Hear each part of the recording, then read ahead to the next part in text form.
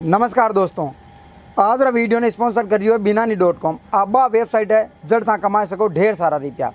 की कर अट आपने अनुमान लगाना है और एक ग्राफ मिली। ग्राफ ऊपर जाए या नीचे चूज़ करना है।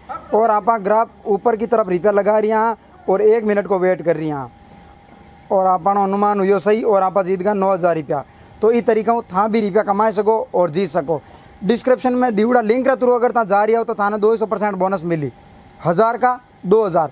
और मिनिमम तीन सौ रुपया लगाए पर शुरू करना